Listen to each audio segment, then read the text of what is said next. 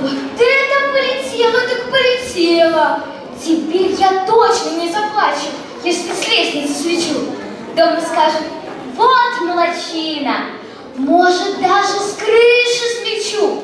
И пикну. Интересно, сколько я прилетела?